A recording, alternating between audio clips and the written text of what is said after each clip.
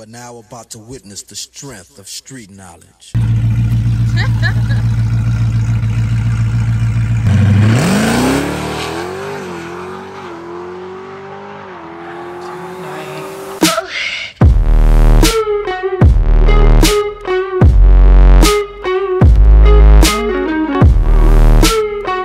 Okay, it's one of our last interviews, but with the guys we met at first on this event.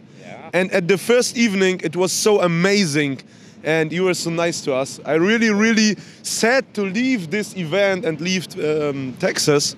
But for my viewers, please tell who are you and what for a car are you driving? Yeah. So my name's Tyler Connolly, uh, and right here I have my 2018 Jeep Grand Cherokee Trackhawk. And now in Germany, people think, oh, Trackhawk, yeah, okay, it's an light and modified. okay, shoot some specs. So uh, the Jeep makes, as it sits, we say probably around 1400. Realistically, it's probably around 1600 wheel horsepower on nitrous. Um, it's currently the world's quickest and fastest at uh, 889 at 157, and it weighs 53, 5400 pounds. So it's pretty wild, man. It's really what, and it's a street car. Yeah, yeah, it's a street car. I drove it around on Friday. I went out and I was driving around for like two and a half hours, just cruising. I still have air conditioned seats, heated seats, heated steering wheel. I got a radio. I have everything. The only thing I have out of it is just the rear and the passenger seat. So that's really it. Um, I saw the video. You were racing this Tesla.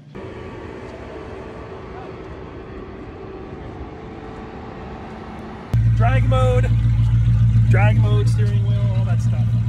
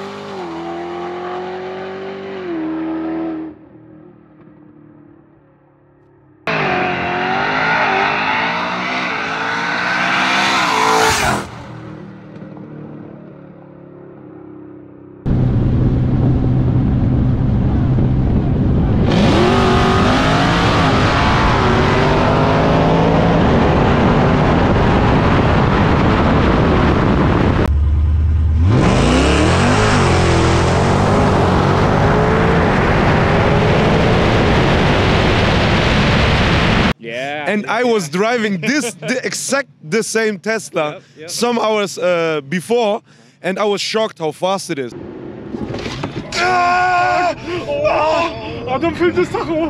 And then I see this video, and then I see how fast this thing is. Bis hierhin hast du schon geschaut. Ich hoffe, das Video macht dir Spaß und du kommst mit meinem sehr besonderen Englisch klar. Falls du jetzt eine kurze Pause machst, vergiss doch vorher nicht, einfach mal zu liken oder zu kommentieren. Oder wenn du eine längere Pause machen willst, gönn dir doch dieses tolle Cappy jetzt bei uns im Shop. Aber ähm, jetzt geht's weiter mit dem Video. How comes to this idea to build such a Trackhawk, not a Mustang? Sure, sure. Um, I suppose at least initially, like I, I saw these when they first came out, and I was like, man, I really like, I really, really want one of those things. And it was they came out in 2017 or so. I bought mine in 2020, December 2020. Um, and I wanted to do just basic bolt-ons. There have been some guys out there that have been racing them and doing some stuff. Well, basic bolt-ons led to nitrous, and nitrous led to a blown motor.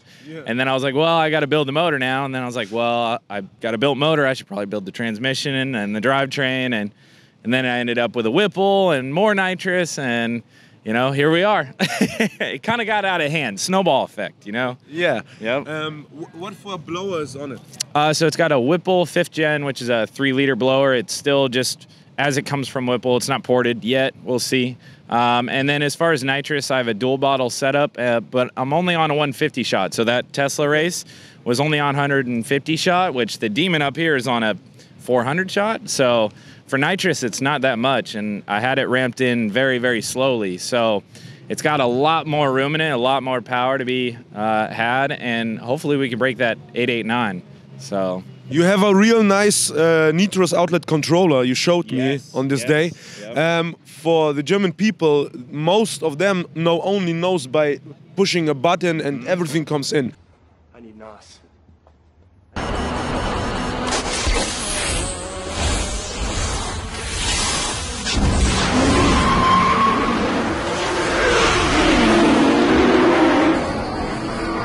What does this controller do? So this controller pretty much does everything for you. It'll data log automatically. You can download the files and read everything. So that's for the tuner. On the tuning side, he can tell rather than just flying blind on nitrous, he can tell everything about the pass that I just made. It also tells me the pressure, bottle pressure, the RPM. Um, what else does it tell me? I can change the maps, how the nitrous ramps in. Uh, so I have T1 through T5. I think I only have two of them set up. Um, but it's a pretty cool system. It's not as opposed to like I've had nitrous on a Mustang. And I was just guessing, and I'm like, okay, well, I think it's hitting, I think it's running. You know, this thing will tell me when it's at 100% and the nitrous is dumping. Uh, it, it's just a really cool setup to be able to tell, and that was something that Chris over here helped me with. Um, otherwise, I was just guessing. I'm like, I think it's in. Yep. Okay. Yep. So it's it's very cool. Okay, let's go back a little bit to uh, to you. Do you remember your first car? I do. Yeah, it was a 03 Ford Taurus, man. It was a black. It looked like a whale, pretty much. It was heavy too. It was about, I think they weigh somewhere. Somebody probably correct me. It was like 4,000 pounds, over 4,000 pounds for just a regular old sedan. Yes. Yeah, that was my first one, man. when does it start to build such a car and to race, of course? I think I got started. I, I had always had an interest. I liked Mustangs. I was like, oh, those are really cool cars. I bought a V6 and an automatic, and a bunch of my friends were like, oh man, you got a V6 and it's an automatic. It just gave me a bunch of crap for it. So then I was like, all right, fine, screw you guys. I went back and I bought a Mustang GT, and it was a stick. I taught myself how to drive, and then obviously race from there. I raced a uh, uh, like a '90s CR, uh, what is it? CRX, Honda CRX with uh, I think he had a K20 in it. Um, I got crushed, and then I was like, all right, I'm gonna learn how to race. I'm gonna make this thing faster, and and I did. And um, I beat him sometime later. I wrecked that car, and then that kind of just started started the addiction, I suppose. So a couple cars later, we ended up with this thing. Like I told you, a friend of mine will make the Race and 1000 in uh, Texas in October. Yes. Um, I would like to invite you. That would be awesome, man. I would love to be there. I don't know if this thing will do. That'd be pretty fun. We'll see if the Jeep's got roll racing in her. So, I mean, I know I can do it on the street, but yeah, I think I, I it can do pretty well for what it is. I would love to go. Thank you very much. Yeah. So, thank you very much. You were so nice. All best to you, and uh, I hope you see us in October. Thank you. Absolutely, man. I'm stoked to see you guys again. Bye bye. Ich hoffe, das Video hat euch sehr viel Spaß gemacht. Ähm, das war Tyler mit seinem Trackhawk, den haben wir in Amerika getroffen, als wir in Texas waren. Die Vlogs seht ihr auch auf unserem Channel. Vielleicht ein bisschen ungewohnt, mich Englisch reden zu hören. Entschuldigung, das war kein Englisch reden, das war Englisch stümpern. Ja? Äh, aber äh, ich glaube, alle Infos haben wir bekommen, die wir gebraucht haben. Nächste Woche geht's weiter, da treffen wir Chris. My name's Chris Bailey, and uh, we've got a 2018 Demon.